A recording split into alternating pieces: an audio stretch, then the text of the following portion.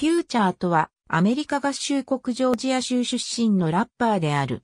本名はネイバデュース・ウィルバーン。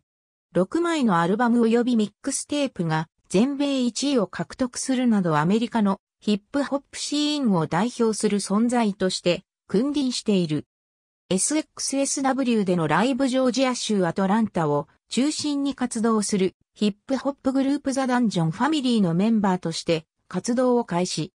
いくつかのミックステープを発表した後、2012年、雑誌 XXL に期待の新人として選出される。そんな状況の中、マンを持たしてデビューアルバム、プルートを2012年4月にリリース。全米ビルボード200にて初登場8位を記録する。その後、リアーナのアルバム、アンアポロジェティックやドレークらも参加したコンピレーションミックステープ、カイ BG、ザ・ムービーへの参加、ドレークのツアーへの帯同などによって注目を集め、2014年4月に発売した2枚目のスタジオアルバム、オネストは全米アルバムチャート2位まで上り詰めた。2015年7月、サードアルバム DS2 を発表。自身初の全米アルバムチャート1位を記録する。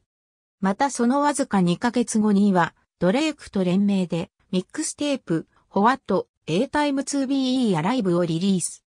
こちらも全米1位を記録するヒット作となるなど人気を確実なものとした。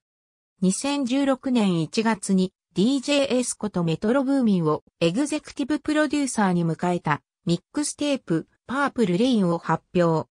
その翌月にはフォースアルバムエボルをリリース。こちらも全米1位を記録した。特に2015年1月から2016年2月までの13ヶ月間は、ミックステープも含めると、リリース作が6作品という驚異的なリリースペースであった。2017年2月、自身の名前を冠したフィフスアルバム、フューチャーをリリースし、全米初登場1位を記録。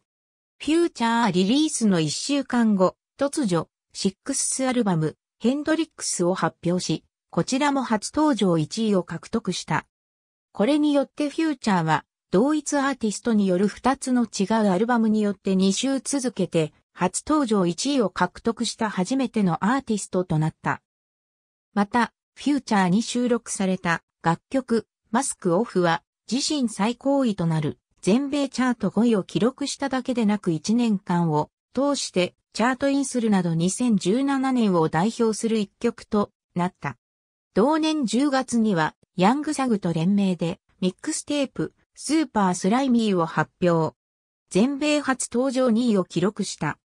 オープンエアでのライブ2019年1月、7作目のアルバム、ザ・ウィザードをリリース。2020年5月15日、8作目のアルバム、ハイオフライフをリリースする。11月13日には、リル・ウージー・バートとのコラボレーティブアルバム、プルート X ベビープルートをリリースした。フューチャーには6人の異なる女性との間に6人の子供がいる。2013年10月に歌手のシアラと婚約し、2014年5月19日に息子が誕生した。フューチャーの不倫が原因で2014年8月にシアラは婚約を解消している。2019年、フロリダ州とテキサス州の2人の女性がフューチャーが娘と息子の父親であると主張して訴訟を起こした。2020年、テキサス州の女性は訴訟を取り下げた。音楽活動を始める前の2004年には、フューチャーは、盗品の受け取りによる窃盗と法廷侮辱罪で逮捕されている。ありがとうございます。